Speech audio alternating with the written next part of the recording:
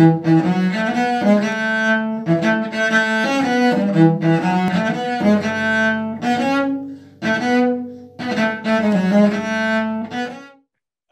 my name is Theon Evans, today I'll be performing a speech from Henry V.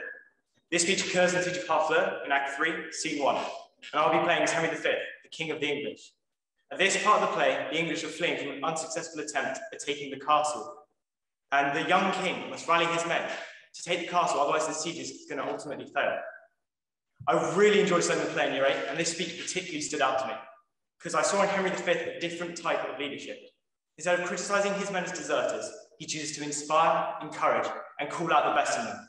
So as I'm going to perform my speech to you today, I will look to be that inspirational leader that I saw in year eight, and I will look to be a leader that perhaps I would follow into battle.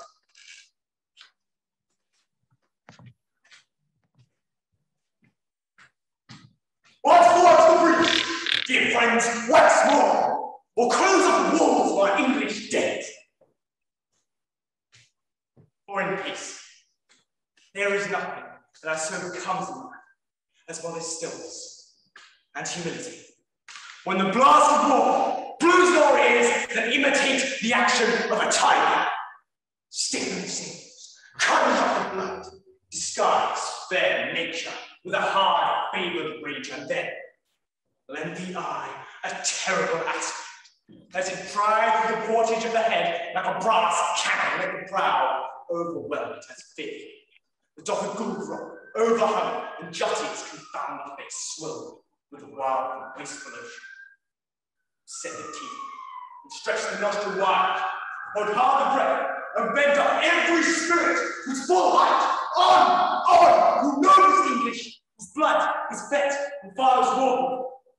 Fathers that, like so many Alexanders, have in these parts mounted even fought and sheathed their swords for lack of arms.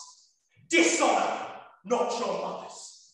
And now attest the those who you called your fathers did beget you.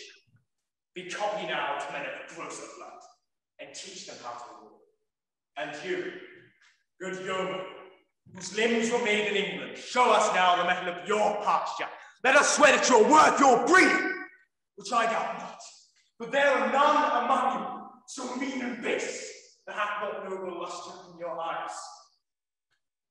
For I see standing like greyhounds in the slings, straight start. Games afoot. Follow your spirit, and upon